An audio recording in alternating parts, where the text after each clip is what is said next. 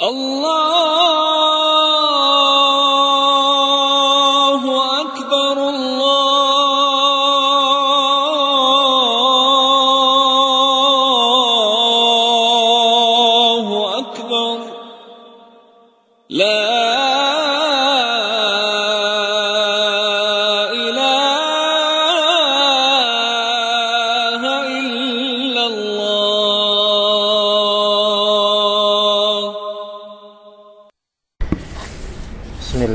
الرحمن الرحيم السلام عليكم ورحمة الله وبركاته الحمد لله الذي أرسل رسوله بالهدى ودين الحق ليظهره على الدين كله وكفى بالله شهيدا وأشهد أن محمدا عبده ورسوله المصطفى محمد وعلى آله وصحبه أجمعين اللهم إنا نسألك علما نافعا ورزقا طيبا وعملا متقبلا يا حي يا قيوم InsyaAllah kita akan melanjutkan kajian Al-Aqidah Al-Wasitiyah karya Ibn Taymiyah rahimahullah Untuk pertemuan kali ini kita akan membahas dengan memohon pertolongan kepada Allah Ta'ala dua kalimat dari beliau rahimahullah belum sampai masuk ke dalam inti kitab melainkan masih muqaddimah namun kita ambil dan tarik faedah dari situ yaitu perkataan beliau rahimahullah wa ashhadu an la ilaha illallah wahdahu la syarika lah iqraran bihi wa tauhida wa ashhadu anna muhammadan abduhu wa rasuluhu sallallahu alaihi wa ala alihi wa sallama tasliman mazida. Banyak sekali insyaallah faedah yang bisa kita raut dari kalimat-kalimat ini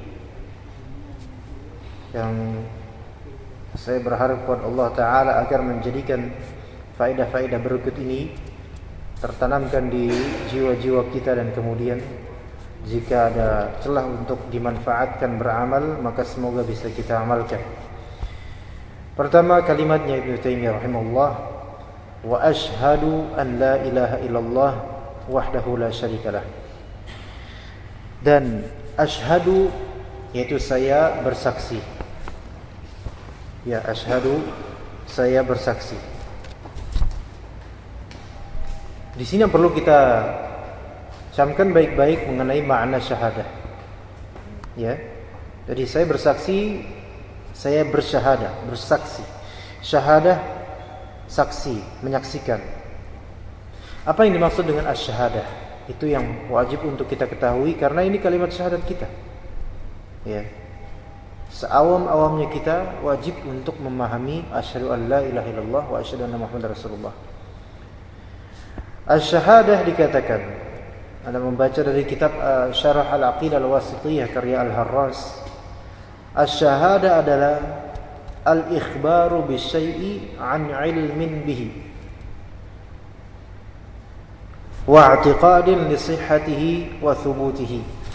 Syahadah itu kesaksian adalah pengkhabaran tentang sesuatu dari yang dia ketahui dan meyakini benar sahnya ya benarnya dan tertetapkannya itu syahadah syahadah tadi apa mengabarkan tentang sesuatu yang diketahui dan meyakini akan kebenarannya itu syahadah ya Memang asalnya syahadah itu menyaksikan dengan mata kepala sendiri. Tetapi kalau antum ditanya ya, apa arti asyhadu an la ilaha illallah? Saya bersaksi bahwa tiada ilah yang berhak disembah kecuali Allah. Antum akan ditanya apakah antum pernah melihat Allah? Jawabannya tidak pernah dan tidak akan pernah di dunia ini. Lah terus kenapa antum bilang antum menyaksikan? Berarti bohong dong. Nah, di sini ya, yang harus kita pahami makna syahadah di sini bukan berarti menyaksikan secara mata langsung pandangan. Enggak, bukan itu maksudnya. Ya, seseorang menyaksikan tontonan sepak bola, jelas itu pakai mata ya. Eh tadi malam antum nyaksiin enggak bola ini lawan ini gitu. Oh iya anak nyaksiin. Berarti kan mafhumnya yang kita pahami dia pasti menonton langsung. Tapi kalau menyaksikan suatu ketetapan atau kaidah atau suatu makna, maka ini bukan berarti dengan mata kepala langsung. Melainkan artinya apa? Mengkhabarkan akan hal yang kita tahu dan kita yakini kebenarannya. Itu artinya menyaksikan. Ya. Dan kemudian dikatakan oleh Al-Harras dalam syarahnya, "Wala tu'tabaru syahadatu illa idza kanat mashubatan bil iqrari wal id'ani." Ya. Dan kesaksian seseorang akan la ilaha illallah itu tidak dianggap tidak sah kecuali jika disandingkan dengan adanya ikrar. Ikrar ya penetapan, pengakuan benar-benar dan juga wawatu al-qalbu 'alaiha lisan. Dan juga tidak sekadar lisan. Mengikrarkan. Membilang saya bersaksi bahwa tiada ilah yang berhak disembah selain Allah. Melainkan harus kalbunya juga hadir dan mengamini itu. Kenapa? Karena Allah Subhanahu wa taala pernah mendustakan yaitu menganggap bohong orang-orang munafik. Di surat Al-Munafiqun Ya. Idza ja'aka al-munafiquna qalu nashhadu innaka la rasulullah.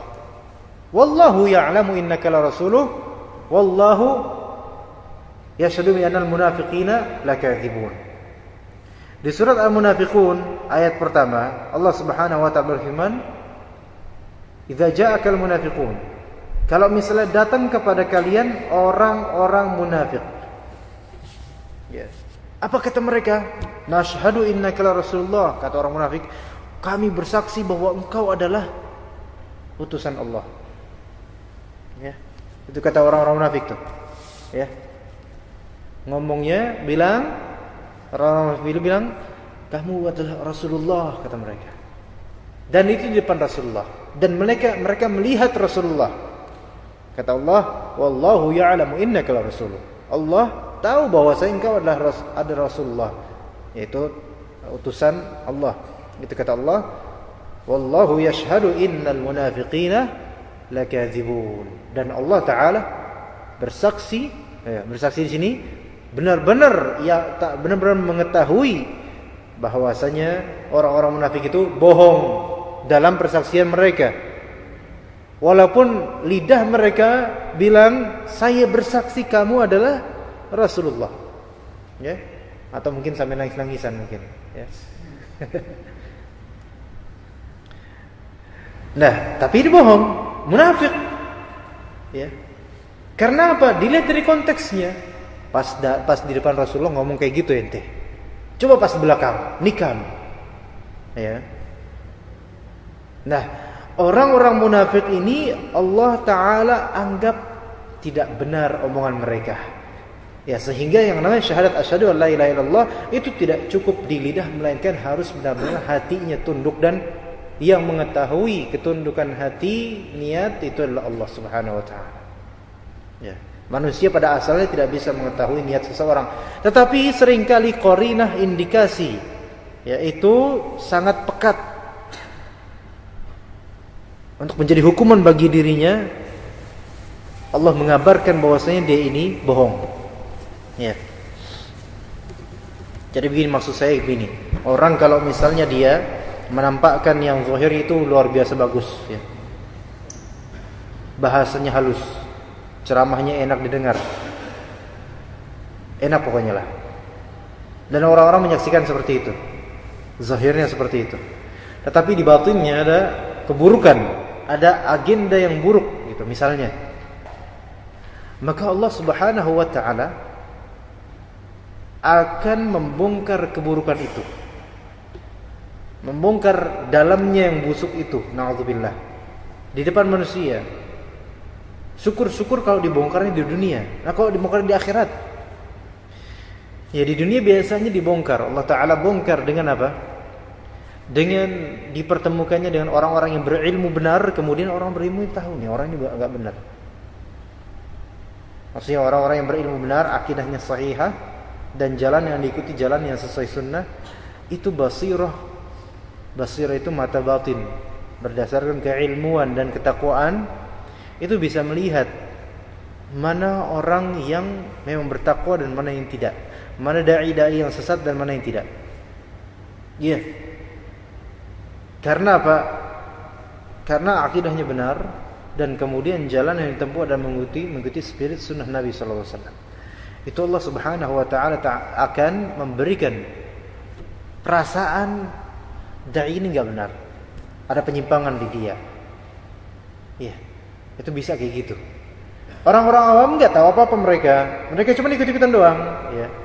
Makanya di sini ya berhati-hatilah kita terhadap orang-orang yang memang luar biasa lidahnya mempesona kolbu manusia. Ya, fasih bicaranya. Dan banyak bahkan hafalannya banyak. Tetapi ada penyimpangan dan penyimpangan tersebut berkaitan dengan asas-asas manhaj. Yang mungkin pada pada masa-masa pertama disembunyikan. Tapi nanti ketika sudah mempunyai banyak masa baru menunjukkan taringnya. Nah, ini bahaya. Berhati-hati yang seperti ini, ya. Taib, uh, jadi orang-orang munafik itu pun mereka bahkan melihat Rasul langsung dan bilang saya bersaksi kamu Rasul dan melihat Rasul langsung itu pun Allah Taala dustakan. Ya, kamu nggak, kalian nggak benar, bohong kalian. Ya. Maka syahadah di sini membutuhkan kolbu. Ya, kalau misalnya di bahasa Arab syahadah itu artinya di Indonesia itu ijazah. Ijazah kita nih ijazah. Ijazah kan dari bahasa Arab. Ijazah artinya pembolehan. Ya boleh ngajar, boleh applying job, boleh ngelamar sana ngelamar sini silahkan selama ada ijazah atau sertifikasi gitu. Itu ijazah, itu syahadah. Apa arti syahadah? Antum punya ijazah itu adalah syahadah. Syahadah itu ijazah maksudnya apa? Kesaksian dari kampus atau sekolah bahwasanya antum telah menyelesaikan mata kuliah ini ini ini atau menyelesaikan ujian dan lulus. Syahadah itu namanya. Kesaksian. Ya. Dan yang namanya kesaksian wajib untuk berlaku jujur. Wajib untuk berlaku jujur, ya ini tahu apa yang dia saksikan dan tidak melenceng sedikit pun infonya tersebut. Nah, saya pernah waktu itu tahun 2009 harusnya saya lulus SM, eh, lulus kuliah. Tahun 2008 ya, sekitar itulah ya. Itu saya mendaftar di sebuah kampus, ya kampus abal-abal dah ya. Saya kan kuliah di Libya. Ya. Dan kalau di Libya kelamaan 7 tahun Pak lulusnya. Dan alhamdulillah lulus 7 tahun itu. Di pertengahan direkomendasikan oleh banyak pihak, yuk kita ikut kampus fulan ya kampus yang yang ya ya dibilang kampus ya kok kayak gitu dibilang bukan kampus tapi kampus gitu setengah-setengah dia kampus ini bisa mencetak uh, apa namanya alma mater alma mater apa namanya lulusan lulusan secara instan ya sebenarnya bahasa kasarnya ijazah aja gitu yang dicari ya saya masuk pada 2008 gitu kan menuju 2009 Nah, 2009 4 tahun itu setelah lulus SMA gitu. Nah, uh, di tahun terakhir itu saya cuma satu tahun doang saya kuliahnya. Satu atau dua tahun lupa. Dan cuma hari Sabtu. Udah gitu sering tidak masuk karena memang nggak serius, nggak serius di kuliah. Pada intinya sebenarnya bayarnya aja yang penting di ujian akhir. Nah, Kemudian menjelang ujian akhir, menjelang kelulusan versi situ, dan memang ada kelulusan dan ada wisudanya, bahkan anak ikut wisudanya. Itu anak udah bayar. Anak termasuk yang pertama kali membayar uh, semuanya, administrasi semuanya udah lengkap dah. Jadi semuanya udah selesai. Tinggal ujian akhir dan skripsi juga seadanya semaunya juga selesai karena dosen-dosennya juga bahasa bodoh, tapi ada juga tes-tesan gitu. Nah, Pas sudah selesai bahkan di wisuda dulu sebelum ada ijazah sebelum ada apa-apa. Karena ikutan ramai-ramai wisuda mereka. Setelah itu anak nggak pernah mau lagi kampus itu. Mengambil ijazah pun tidak. Padahal sudah jadi. Ijazah udah ada. Udah lengkap, tinggal diambil. Anak nggak mau. Kenapa Allah Taala kemudian memberikan di kolbu anak nggak boleh ambil itu ijazah dan nggak boleh dimanfaatkan. Seolah gini, haram ijazah itu buat anak. Kenapa? Karena ijazah itu adalah syahadah. Syahadah itu adalah persaksian.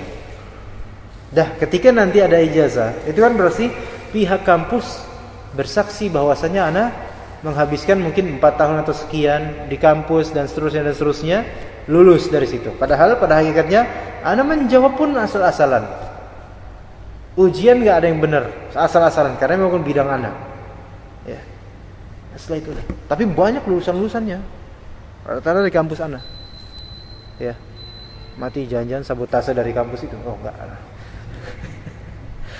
Ini fenomena terjadi nih. Ya, nggak tahu sekarang udah digerebek atau belum Allah alam. Tetapi ada yang seperti ini.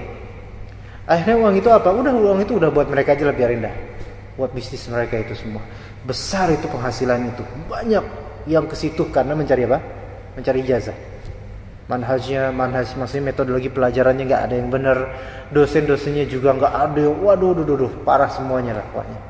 Tapi Islami gitu kampusnya namanya ya udah anak gak gitu. Kenapa? Karena akan bertanggung jawab di akhirat nanti. Syahadah itu ijazah. Nah kalau misalnya teman-teman sekarang, mungkin kalau misalnya dulu pernah nyontek ya. Pernah nyontek dan hasil nyontek arti nilai hasil nyonteknya itu kemudian berpengaruh terhadap hasil akhir ujian, berpengaruh terhadap name misalnya kan. Bahasa sekarang masih name atau bukan mas? Antum terakhir name atau bukan namanya? Hah? Enggak di di sekolah dulu? Masih name. Iya, terus kuliah apa IP gitu kan? Ah, ibaratnya mempengaruhi yang seperti itulah nilai-nilai itulah. Yang kemudian nanti kemudian ketika apply job dilihat ya sertifikasi dan semuanya ternyata bagus nih prestasinya. Padahal itu ada sekian persen kedustaan karena apa? Curang, bohong, apa uh, nyontek. Tapi bagaimana? Apakah sah ijazahnya? Ijazahnya tetap sah itu. Iya, ijazahnya tetap sah. Selama sekolahnya bukan sekolahnya yang berkonspirasi pada itu. Tapi kalau misalnya antum nyontek karena kesadaran sendiri pengen nyontek gitu kan. Nah, ini sah ijazahnya cuma tidak berkah gitu aja. Penghasilannya nggak berkah, maka harus apa? Sedekah hasil dari gaji. Kalau nyontek ya, kalau nggak nyontek alhamdulillah bagus itu. Itu syahadah tadi ya. Wa ashhadu dan saya bersaksi bahwasanya La ilaha illallah, tiada ilah yang berhak disembah melainkan Allah. La ilaha illallah ini namanya apa? Kalimatut tauhid. Hafalkan. Kalimat tauhid itu la ilaha illallah. Pokoknya saya nggak mau sebenarnya ini Pak. Sampean ngaji walaupun orang kantoran ya. Ngaji sampai misal kita misalnya belajar ngaji akidah wasitiyah ini sampai 2 tahun. Udah berapa, berapa majelis tuh? Puluhan majelis ya. Pas tak tanya La ilaha illallah apa itu? Kalimat apa? Enggak ada yang tahu, anak cabut, enggak mau anak ngaji lagi, enggak mau ngajar lagi. Gagal total itu. Kalimat tauhid harus tahu ini. Karena betapa banyaknya anak pernah ngisi pengajian di daerah Ciracas sana. Ya. Menggantikan salah seorang ustadz yang masyhur kemudian ngisi tematik di situ. Anda tanya, apa itu kalimat tauhid? Banyak itu orang tuh. Satu masjid full, ikhwan akhwat. Apa itu kalimat tauhid ikhwan sekalian? Pada diem. Kayak antum ini diem, diem. Nunggu jawaban gitu kan. Tapi udah tahu alhamdulillah udah tahu nih insyaallah. Tanya apa itu kalimat tauhid? Coba antum antum semua Masya Allah Jenggotan Masya Allah Celananya nggak isbal Cingkrangan Masya Allah Subhanallah Orang-orang menganggap Antum semua ustad ya. Iya Orang kalau udah jenggotan aja ya Walaupun fasik dia Tetap orang nyebut ustad nih Ya apa itu kalimat tauhid? Diam semua. Malah mandangin anak. Nah, anak bingung habis itu. Lah kok pada diam? Apa itu kalimatul ikhlas? Pada diam semua. Ya, ya Allah. Ini kan antum udah berapa tahun ngaji ya, ikhwan gitu kan? Berapa tahun antum ngaji? Ada di antara antum ngaji 2 tahun, udah 4 tahun, udah kenal sunnah sejak lama. Anak tanya kalimatul ikhlas nggak tahu. Kalimat tauhid nggak tahu. Kalimat itu adalah kalimat tersebut adalah la ilaha illallah. Selama ini ke mana aja ngajinya? Nah, gitu. tak marahin itu, biarin mereka tersinggung, mau marah, blokir anak, nggak mau lagi ketemu anak, nggak apa-apa. Yang penting yang penting membekas itu, mana pengen. Kalimat tauhid atau kalimat ikhlas itu la ilaha illallah, harus tahu. Ya, ntar dia diomongin sama orang, sampean masya Allah jenggotnya lebat sekali mas ya kemudian mengikuti sunnah sana sini masya Allah kajian di mana mana semua diikutin ya secara prasmanan ya Nah kemudian Pak, Masya Allah antum kayaknya berilmu banyak nih. Fadol, antum tanya mana Fadol? Katanya, Masya Allah. Kalimat tauhid itu apa Pak? Masya Allah, kalimat tauhid. Itu pertanyaan berat itu. Ya, Anda belum pernah dengar di pengajian. Bukan nggak pernah dengar, emang nggak pernah nyatet dan cuman masuk masuknya satu, keluarnya dua banyak. Jadi lebih banyak yang keluar daripada yang masuk. Kalimat tauhid itu la ilaha illallah. Udah gitu gampang banget. Ya semua semua talib semua semua yang ngaji harus tahu itu. Ikhwan dan akhwat jin dan manusia semua harus tahu. Kalimat tauhid adalah la ilaha illallah. Ya. Jangan sampai enggak karena mengecewakan ini. Kalau misalnya ada ustadz atau guru ngaji ya, kemudian nanya kayak gini, antum diem diem aja, bukan diem karena takut atau apa, diem karena nggak tahu, itu gagal benar dakwah-dakwah ini ya. Dakwah-dakwah kita gagal. Ya giliran masalah-masalah fonis baru kita masalah bid'ah, masalah ini baru kita oh itu bid'ah, ini sunnah baru kita tahu. Tapi masalah kayak gini istilah seperti nggak tahu itu musibah. Maka harus tahu. Dan mungkin di sini insya rutin kan ya.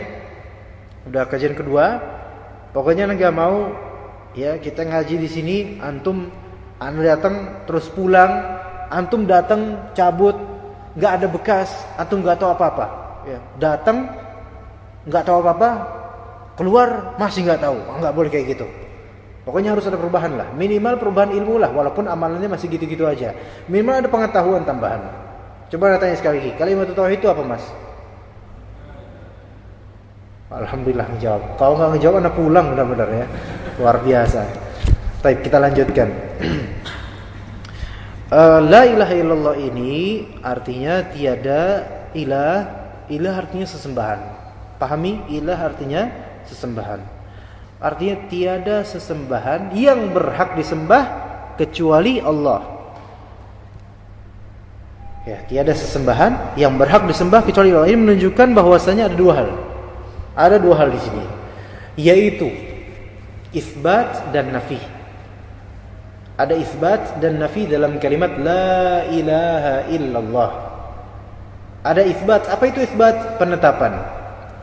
Positive sentence. Ya. Ada juga nafi. Yaitu penafian. Ini negatif. Maksudnya apa? Chef misalnya nih. Kalau Anda bilang ya, wallahil masallu a'la. Ini kan aula ya.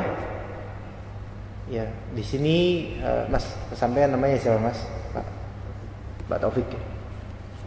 Misalnya bilang di uh, tidak ada seorang pun di aula kecuali Pak Taufik. Tidak ada siapa-siapa di aula kecuali Pak Taufik. Kalimat ini mengandung dua pemahaman. Pemahaman isbat dan pemahaman nafi. Yaitu menetapkan dan menafikan. Tadi kalimat gimana? Di aula ini tidak tiada seorang pun di aula ini kecuali Pak Taufik. Penetapannya apa? Hanya Pak Taufik di aula ini. Penafiannya apa? Tidak ada selain Pak Taufik di aula ini. Bisa dipahami nggak Pak? Harus paham. Kurang paham? Sampean paham nggak, Mas? Kurang. Pokoknya harus paham loh. Antum malu sama jenggot antum. Kalau misalnya nanti nggak tahu, harus malu antum. Ya pokoknya keluar harus tahu. Atau pelajaran ini sampai jam 1 antum nggak paham, anak terus ngajarin sampai paham. Walaupun nggak hatam itu. Ya. Anak ulangi, sampai namanya siapa Mas? Hah? Rifak. Pakai R? Rifan. Nah, ya Rifan, masya Allah. Ya Rifak juga bagus ya, bagus itu dua bagus. Rifan ya. Baik. Rifan artinya apa Mas? Wallah alam. Tuh kan nama sendiri nggak tahu gimana ini gitu. Tapi pada kuliah ya, barakallahu fik ya. Maaf, maaf, maaf. Anda pernah ketemu dengan seorang santri dulu ada kelas, Anda tanya, "Antum namanya siapa, akhi?" Nama Anda Nifak. Tahu Nifak artinya apa? Kemunafikan. Kemunafikan namanya. Masya Allah. Ngeliat, Anda langsung pandangin orang ini. Anak ini Anda pandangin kelas 1 SMP waktu itu dia. Kesian banget anak ini. Kata pikiran orang tuanya namain dia kemunafikan. Bayangkan tuh. Nifak itu artinya kemunafikan. Taunya Anda salah dengar. Yang benar rifak bukan nifak. Tadi yang dengarnya apa? Nifak. Masya Allah. Kalau namanya itu anak bilang gantian tuh ya. Artinya kemunafikan. Itu doa dari orang tua itu ya. Rifa, Rifa, Rifan. Rifan. Mas Rifan misalnya. Ya. Itu di ruangan kantor. Ya. Di ruangan kantor kemudian nanya ke teman-teman, "Eh, di aula ada siapa?" Ya, di aula ada siapa? Kalau jawabnya, di aula ada Pak Taufik. Misalnya Mas ini siapa Pak namanya Pak? Hah? Nustad? Wisnu. Wisnu. Oh, masya Allah. Nggak ada ya, Sak Wisnu nggak boleh. Karena nama Wisnu itu nama dewa, nama nama sesembahan. Bener Mbak? Kalau boleh saya saran bahkan diganti Pak. Iya, kalau tapi udah sulit ya. Nah ini lebih parah. Ini lebih parah. Satunya Rasul, satunya ya sesembahan orang kafir. Satunya Rasul, panutan kita, satu sisi antum tuh panutan juga gitu Ahmad. Satu sisi sesembahan orang-orang kafir. Gimana tuh jadinya? Lah ya saya bingung juga itu. Ya antum sendiri yang memutuskan. Tapi kalau saya boleh saran sih ganti nama, jangan Wisnu ya. Uh, Mas Rifan tanya ke Pak Wisnu. Pak Wisnu, ada siapa di aula? Pak Wisnu menjawab, di aula ada Pak Taufik. Ini jawaban jawaban penetapan atau penafian? Penetapan, simple. Tapi apakah jawaban tersebut memungkinkan adanya orang lain selain Pak Taufik di aula? Mungkin kan? Di aula ada Pak Taufik. Apakah itu berarti hanya Pak Taufik yang ada di aula? Enggak juga. Bisa aja ada orang lain, cuman beliau enggak ngasih tahu. Gitu kan? Mulai paham Mas Rifan atau belum paham? Beneran jujur aja. Enggak usah malu, enggak usah malu beneran. Malu kawan antum keluar enggak tahu apa-apa itu baru malu. Insyaallah ya. Baik. Tapi kalau misalnya nih sekali lagi ditanya sama Mas Rifan. Pak Pak Wisnu, Pak Ahmad gitu, Pak Ahmad ya. Pak Ahmad W gitu kan bukan Pak Awi nanti jadi merek makanan ini toko makanan Pak Ahmad ada siapa di atau ada siapa aja sih di aula? Nah dijawab oleh Pak Ahmad Wisnu. Oh tidak ada seorang pun di aula kecuali Pak Taufik. Jawaban beliau ini memiliki dua pemahaman dua makna dan dua faedah. Faedah pertama penetapan. Penetapan bahwasanya hanya Pak Wisnu saja, eh, eh Pak Pak Pak Taufik saja yang di aula. Yang kedua, tidak ada siapa pun di aula ini. Hanya tidak ada siapa pun, tidak ada seorang pun selain Pak Taufik. Bisa dipahami? Menafikan keberadaan orang lain selain Pak Taufik. Paham nggak antum? Nah, sekarang nih gini nih. Kalau anda bilang langsung ke the point ke kalimat la ilaha illallah, arti la ilaha illallah tadi apa? Tiada sesembahan yang berhak disembah kecuali Allah. Kalimat tersebut mengandung dua pemahaman dan faedah atau faedah. Yang pertama, penetapan bahwasanya hanya Allah yang berhak disembah. Satu. Ini namanya isbat. Menetapkan bahwasanya hanya Allah saja yang berhak kita sembah. Bukan Wisnu, Brahmana dan seterusnya, ya Pak ya. Maaf maaf saya sebut namanya. Yang kedua, penafian yaitu apa penafian di sini apa? Apa? Pengingkaran, mengingkari sesembahan selain Allah. Paham gak di sini? Antum malah main HP Pak Rifan, gimana Mas Rifan? Kok main main HP? Oh nyatet, masya Allah suzon, astagfirullah. Ya mudah-mudahan antum maafkan. Ya, anda nggak biasa soalnya kalau misalnya kajian main HP, anda udah suzon gimana orang malah googlean gitu kan? Jangan-jangan mau jangan-jangan gitu.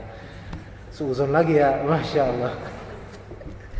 Tapi jadi yang pertama itu adalah menetapkan ini harus tahu, hafal harus hafal, keluar harus tahu menetapkan satu-satunya sesembahan hanya Allah dan menafikan sesembahan selain Allah. Simpelnya gitu. Ya. Karena apa? Kalau nggak gitu kacau.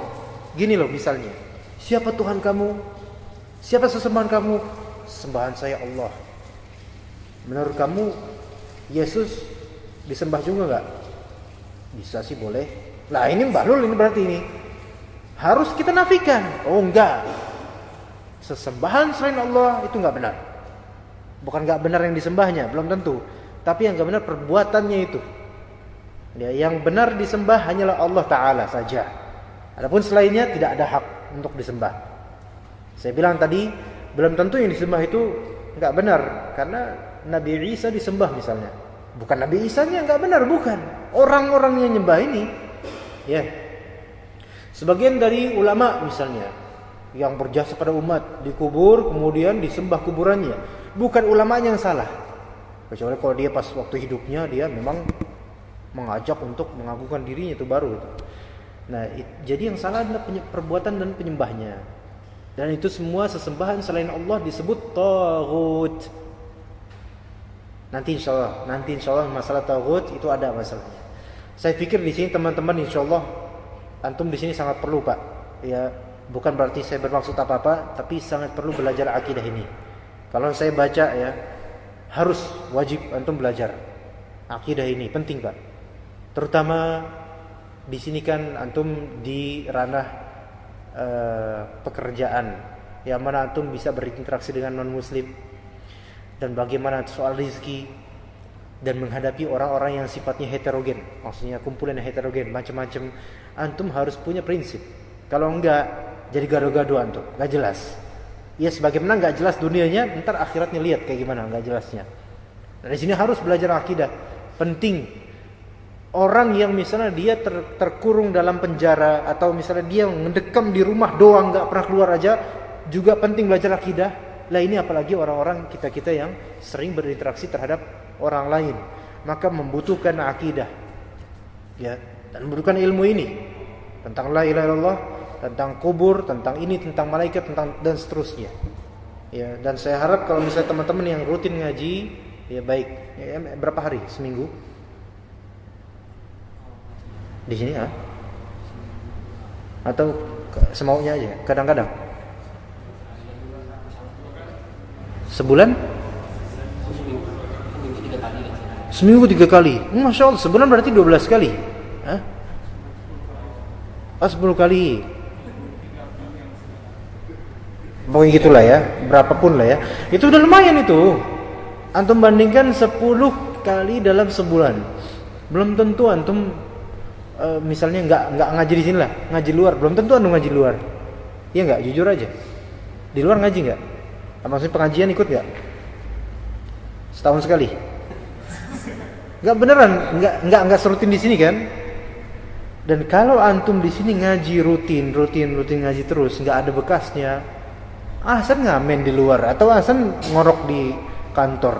Apa apa apa apa faedahnya kalau antum ngaji terus diajarin sampai teriak-teriak materinya ya.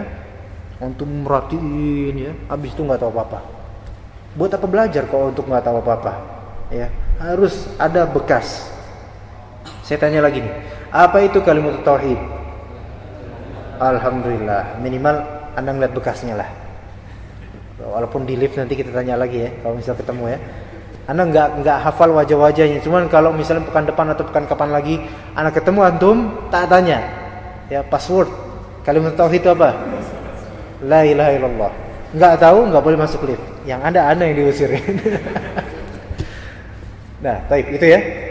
Eh, tadi la ilaha illallah mengandung penetapan dan penafian. Harus tahu, penetapan yaitu menetapkan hanya Allah yang kita sembah, satu-satunya, tidak yang lain. Enggak kita caper dalam ibadah tuh enggak, enggak usah lah. Ya. Enggak usah caper dalam ibadah. Kecuali kalau mau mencontohkan, nah baru nggak apa-apa untuk kebaikan ya, bukan untuk dipuji. Kedua, mengingkari, mengingkari peribadatan dan sembahan selain Allah. Ya, ada orang menyembah kuburan, ya, minta sama penghuni kubur. Eh, ini syirik. Ini sama dengan menyembah kepada selain Allah ini karena dilarang. Karena bukan masalah meminta wahai sahibul bait gitu. Sahibul bait di mana? Ya Allah alam di dalam pokoknya. Nggak ada nggak tahu di mana berbentuknya apa. Udah jadi kuntilanak kali gitu kan. Saya sahibul bait ya sahibul hajat. Ana sahibul hajat. Ana minta pada antum ana mau karfil ya. Ana mau sendal atau mau apa? Mau pekerjaan ini, mau itu. Ini syirik nih dan syirik besar bisa-bisa. Ya. Ini namanya menyembah kepada selain Allah. Adapun kalau misalnya sama orang yang nyata hadir di sini, ya Pak Rifan, Pak Rifan, saya minta kerjaan dong. Nah, misalnya beliau bos misalnya, masya Allah. ya punya banyak link channel gitu kan. Anda minta kerjaan dong satu aja lah, nggak apa-apa lah jadi cleaning service. Ini boleh nggak? Ini syirik nggak? Bukan, ini bukan syirik, boleh. Karena apa? Karena nyata ngelihat langsung. Adapun kalau misalnya anda di rumah, rumahnya Cilangkap, sampai di mana rumahnya mas? Depok ya. Anda di Cilangkap, anda diem kayak gini, merenung, bertapa tafakur gitu. Pak Rifan, saya minta pekerjaan. Antum aja dengar ceritanya aja ketawa. Gimana kok langsung melihat? Bukan ketawa kesian, lele kon ini aduh. Kenapa kamu kayak gini? Gila kan? Tuh sinting orang ini jadinya. Begitu juga kalau kita minta sama pemilik kubur. Siapa pun itu. Udah beda alam, udah gitu kita nggak ngeliat lagi. Dan orang nggak di alam kita. Tadi yang contoh yang tadi antum ketawa itu masih mending, masih ada orangnya. Ya, kitanya minta sama Pak Rifan. Pak Rifan di kamar anak gitu kayak gitu. Pak Rifannya tahu di rumah lagi ngobrol sama istrinya. Ya. Kan nggak nyambung, tapi beliau masih di dunia kita. Ini bukan di dunia kita. Mayitnya di alam barzakh rohnya kita minta. Ya sahibal bait, minta ana minta pekerjaan Allah. Ini syirik besar ini, kekonyolan ini. Ini menyembah namanya. Dilarang oleh agama Islam dan ini syirik dan mengeluarkan pelakunya dari Islam naudzubillah. Ya, maka hati-hati. Nah, eh, tadi la ilaha illallah wahdahu the only one, satu-satunya saja. Kepadanya kita menyembah, enggak selainnya la syarikalah. Tiada sekutu buat dia dalam hal peribadatan kita terhadap sesembahan. Nah, jadi tadi ada wahdahu dan adalah syarikalah. Wahdahu ini menetapkan dan la syarikalah menafikan. Jadi tidak ada sekutu tandingan terhadap Allah Subhanahu wa taala. Ya. Iqraran bihi mengikrarkan dengannya. Saya benar-benar mengikrarkan wa tauhida dan tauhida di sini ikhlas, benar-benar ikhlas. Saya mengikrarkan gini benar-benar karena saya ikhlas, juga saya ikhlas. Coba di sini kita diajarkan dalam Islam kita wajib untuk menjadi orang yang tulus, ikhlas. Kita membantu orang bukan karena ada maksud apa-apa, tapi karena tulus, ikhlas. Tulusnya ke siapa? Lillahi ta'ala. Karena kalau kita tulusnya bukan lillahi ta'ala, kita dapatnya dunianya doang, nggak dapat akhiratnya. Ya. ya. Dan juga orang yang terbiasa melatih dirinya ikhlas itu akan menjadi orang yang tenang jiwanya. Ya. Kalau misalnya kita terbiasa caper, Pak, dalam ibadah kita, itu mudah baper. Ya, orang yang mudah baper itu biasanya orang yang suka caper memang. Beneran. Itu kaidah tuh ya, jadiin meme ya. Orang yang mudah baper disebabkan karena dia caper. Ya. Karena apa? Antum cari perhatian misalnya kepada makhluk manusia. Kalau nggak diperhatiin, pasti antum kecewa. Pasti gitu. Beda kalau misalnya kita nggak nyari perhatian manusia, nggak diperhatiin, ya bodoh amat orang saya nggak nyari perhatian dia, gitu kan? Yang dicari perhatiannya kepada Allah Taala saja. Yang yang dia adalah maha melihat. Itu tenang itu kayak gitu, ya. Sedekah nggak ada ngelihat, ya nggak ada ngelihat. Aduh, nunggu dah sampai ada orang. Pas ada orang, buru-buru, ya. Kayak gitu tuh, caper. Ya, eh taunya orang yang ngelihat, taunya orangnya minus tiga nggak bisa ngelihat, ya. Eh, taunya nggak bisa ngelihat, ya nggak dilihat sama dia. Jadi gak enak rasanya. Dan hal-hal lain masih banyak lagi contoh-contohnya. Ya, itu ikhlas dalam beribadah. Ada juga ikhlas juga dalam beribadah lainnya. Contohnya kita tidak berbuat syirik dalam artian syirik ya, uh, minta kepada hal-hal yang gaib kepada dukun misalnya. Dukun jelas dia berkongsi dengan setan dari kalangan jin. Nggak ada dukun saya jin-jin saya muslim semua kok bohong itu. Imma dukunnya bohong, imma dukunnya dibohongin sama jinnya. Yang pertama itu memang biasanya dukun bohong. Yang kedua, dukunnya dibohongin sama jinnya berarti bahlul murakkab ini, bahlul kuadrat ini dia. Ya udah pembohong, dibohongin sama jinnya. Uh, khadam saya, Pak, khadam saya semuanya muslimin dan muslimat. Ya, al-ahya minhum wal gitu. Semuanya itu muslimin. Yang bantu saya muslimin. Sampean mau minta apa? untuk request pertama digratisin nggak apa nggak ada nggak ada nggak ada bayaran. Semua muslim. Supaya antum lancar jodohnya ada. Ya supaya lancar rezekinya ada. Syuf, kan rata-rata enak. Lancar jodohnya apa? Emang jodoh lancar ya? Maksudnya apa ya? Ah, datang jodohnya. Kan kadang-kadang orang susah dapat jodoh ya. Ya padahal cakep susah dapat jodohnya udah kedukun aja akhirnya dia. Nyerah dia. Nggak mau tawakal sama Allah. Kedukun. Datangnya aja itu udah syirik itu. Datang dengan niatan apa? Pengen minta sesuatu sama dukun udah syirik. Pas dia datang dan minta sesuatu karena percaya sama dukun keluar dari Islam. Nauzubillah ya. Hati-hati pak. Gimana dong orang-orang tua kita misalnya kayak gitu? Ya Allah tapi orang-orang zaman dulu tuh banyak yang kekurangan info pak. Ya. Maksudnya mungkin di antara antum ada yang dulu tinggal di desa ya. Tinggalnya mungkin di Jawa Pulau Jawa terutama di Pulau Jawa ini ya. Di desa-desanya. Orang-orang zaman dulu bapak-bapak mbah-mbah kita itu nggak seperti sekarang infonya. Dulu mbah-mbah kita mungkin ada yang pakai keris bisa nungging eh bisa apa kerisnya bisa nukik bisa ngapain itu. Itu mungkin bagi mereka tuh wah luar biasa itu dan mungkin itu bagi mereka adalah karomah. Itu karena ditipu oleh kiai-kiai sebelumnya gitu mungkin. Nggak kayak sekarang. Sekarang info merebak luas. Tentang tauhid banyak tinggal cari. Dan kajian juga banyak di Jakarta terutama. Jadi orang sekarang tuh harus benar-benar tahu kebenaran. Bukan kayak orang-orang zaman dulu. Karena zaman dulu kurang info dan mudah-mudahan dimaafkan. Mudah-mudahan. Nah ya. Tapi ini jam jam berapa sekarang Baik, tinggal 8 menit lagi ya. Ada yang mau bertanya dipersilakan. Kalau nggak ada, saya tanya. Silakan. Silakan, Mas Pak Taufik ya.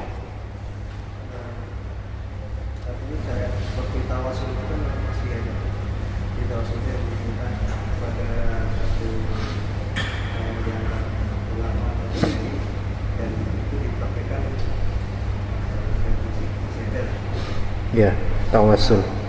Jadi kan itu saya dikatakan dia membuat syirik. Gimana cara kita memberitahukan eh, hal itu adalah syirik tanpa waktunya atau yang meyakini itu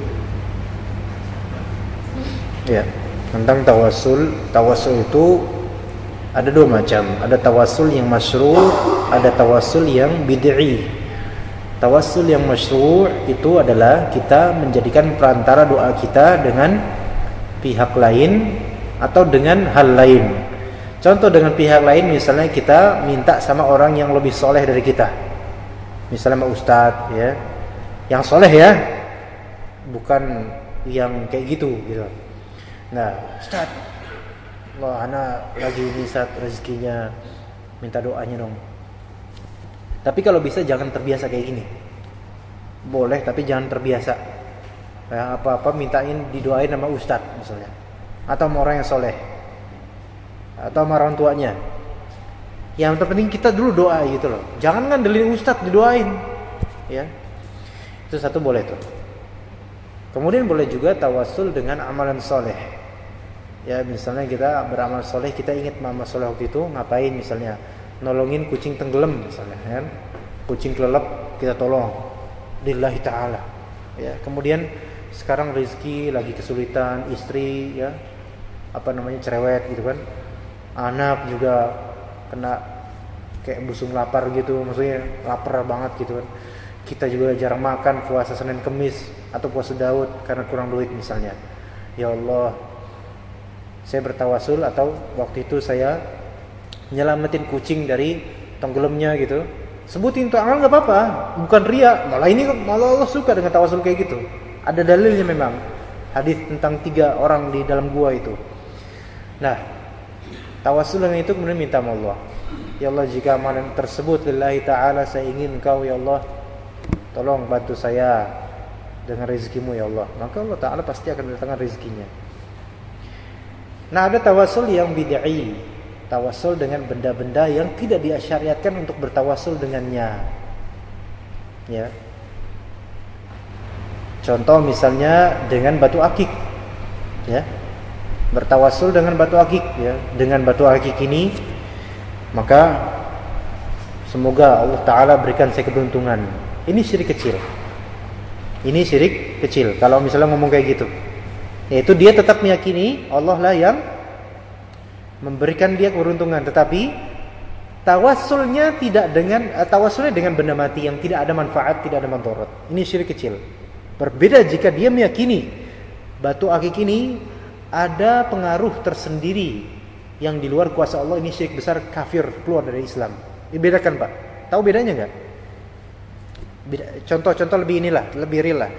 Misalnya seseorang dari kita sakit keras, ya, masuk rumah sakit, dirawat, masuk ranap berhari-hari, ya.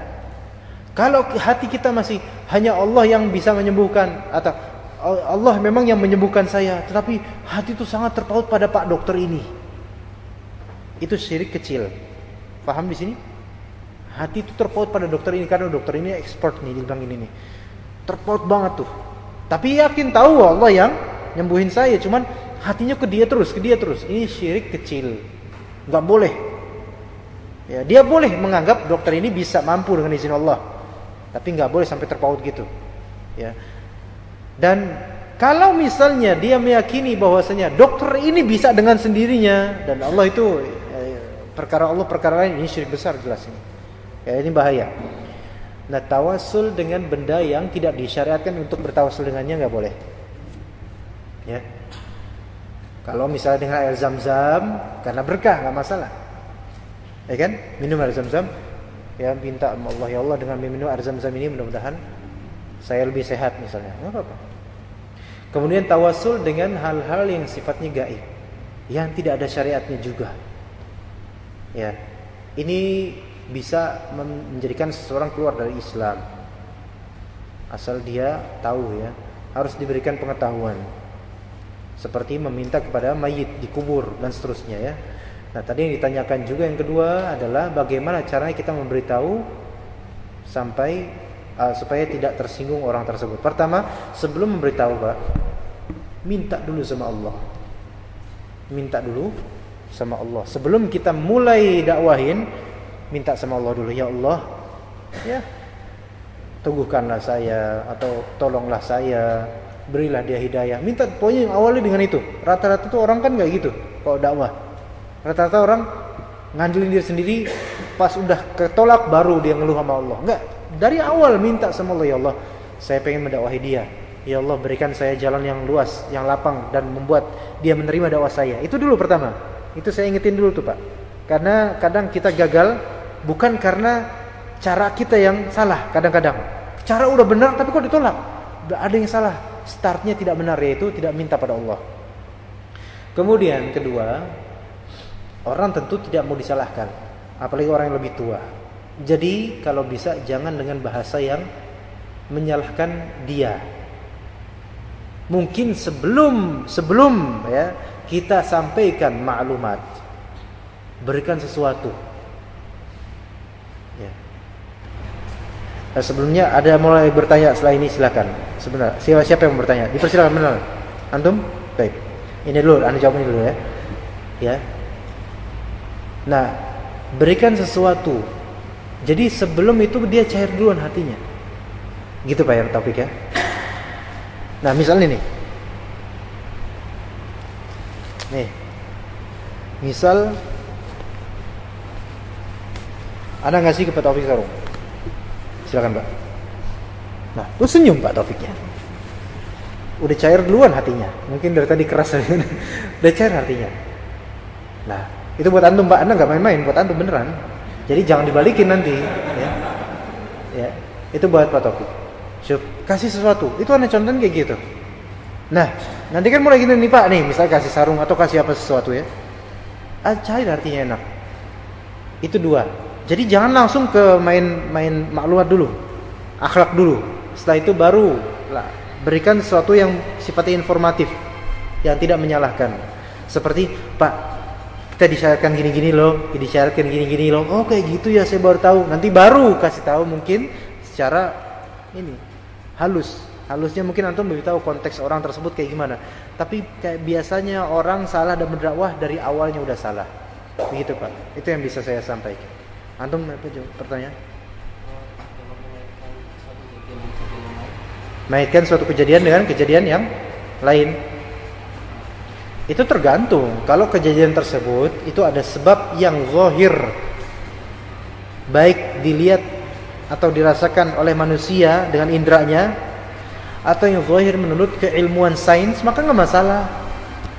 Tapi kalau keterkaitan tersebut itu tidak ditemukan di sains, tidak ditemukan di pandangan kita nggak ketemu, maka ini takutnya syirik takutnya. Takutnya seperti eh jangan nunjuk jangan nunjuk ke kuburan tuh nanti Pak Mali sia gitu kan. Apa hubungannya tuh nunjuk ke kuburan sama Pak Mali? Enggak ada, enggak ada tujuan, enggak ada ininya. Apa, apa kaitannya? Maksudnya nunjuk kayak gini ke kuburan terus Pak Mali. Pak Mali itu kualat gitu. Ada ada tahu nggak apa secara sains kelihatan nggak? Nggak ada. Secara keilmuan nggak ada. Pandangan mata, pendengaran, penglihatan nggak juga bisa mengetahui. Jadi ketika keterkaitan dikait-kaitkan dicok cok padahal nggak ada ketercocokan dari segi ilmiah sains atau panca indera kita, maka itu takutnya nanti masuk ke dalam syirik takutnya. Kita tadi itu. Itu keyakinan sesuatu keyakinan yang tidak ada dasarnya. Ya, Jangan apa? Oh, hujan nih, padahal matahari, berarti dia mati. Tiap orang mas ada mati. Kalau kayak itu, tiap hari dong kayak gitu harus mati. Ya kan nggak ada nggak ada ininya. Ya kecuali kalau misalnya kejadian tertentu itu menunjukkan adanya sesuatu dan itu berdasarkan tajribah, praktek dan berulang-ulang dan sehingga manusia bisa tahu. Misalnya kadang-kadang yang rautnya tuh kayak gini, dia pemarah orangnya. Nah ini ada sebabnya. Dan memang secara diteliti, oh benar ini, emang yang kayak gitu rata-rata pemarah. Itu. Orang yang jalannya ancul-anculan gini, berarti dia pincang. Eh itu benar. Emang ada sebabnya, gitu kan? Dan kita tahu itu, ya. Jadi begitu mas, ya mas mas Khidri, eh mas siapa? Mas Khairi. Antum karena tanya anak kasih ini ada sisa satu lagi buat antum ya. Ini buat antum. Fadal. Antum udah pernah dapat dapat lagi insyaallah, tapi jangan dijual ya jauh ya udah gitu aja dari Ana udah jam satu ya sepertinya. Kita tutup insya Allah kita ketemu lagi nanti dijadwalin lagi kapan. Kita ketemu lagi insya Allah pada waktu mendatang kita tutup. Ya terima kasih atas perhatiannya. Dan tanya lagi ya apa kalimat tauhid itu ya kawan? La ilaha illallah. Tapi kemudian la ilaha illallah mengandung penetapan dan penafian. Penetapannya apa? Hanya Allah lah kepada kita kepada Allah Subhanahu wa taala kita menyembah dan penafian? Ya. tidak eh, selain Allah itu semuanya adalah sesembahan yang tidak benar yang batil. Allah alam. Taib kita cukupkan sampai situ. Kita tutup dengan doa kafaratul majlis. Subhanakallahumma wa bihamdika. Asyhadu an la ilaha illa anta. Astaghfiruka wa atubu ilaik. Wassalamu alaikum warahmatullahi wabarakatuh